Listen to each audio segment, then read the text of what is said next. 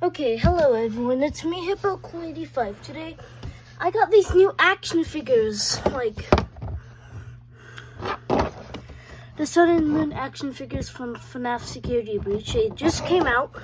So yeah, um, I'm just gonna review them in the box, but uh, we'll of course opening them up. I think no one has opened them up, so I'm gonna do that today on this channel in markets history. So yeah, um, yeah, I'm just gonna open these up now. That was a, sorry.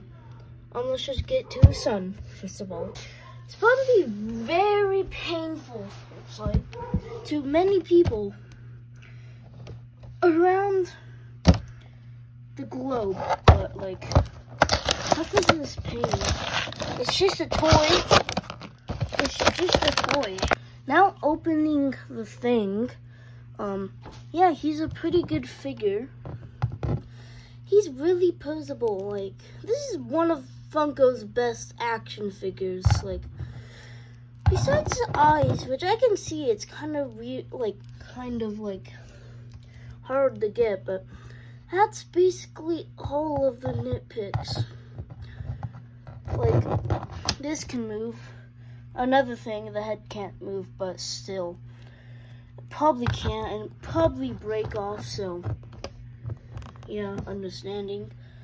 It's pretty cool to pose. Like, really. Just like, pretty cool. Cause, but, um, please don't age restrict me. Yeah, pretty cool, um, action figure, sorry yeah, would you would I recommend this? Totally, yeah. I found this at Brad's Toys, which I live near one, near one, sorry. And I got this, and his um some of his arm broke off. So, and um they probably have these. So yeah, um let's get to him. So yeah, just the collectors.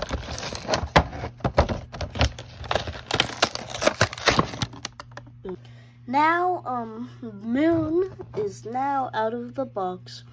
I think I did not comment on Sun, which has on um, Moon. The Moon, um, action figure is that, um, has this thing, I think it turns into, like, the sun or something. It has a circuit board, like, right there. So, yeah. And they have the same shoes, I think. Uh, I don't think so, no. Basically the same mold. And it, uh, someone's calling me on Discord crap. Okay, Hippo back. Um, yeah, um, the, um, basically same mold from here, but not that much. Just, eyes a bit weird, uh, but what can you do, really? Hat's really good. This is yet like Funko's best figure. Probably Sun, but this is like the second one, the second best one. Hope Funko keeps making good figures like these, because uh, past Security Breach figures are bad.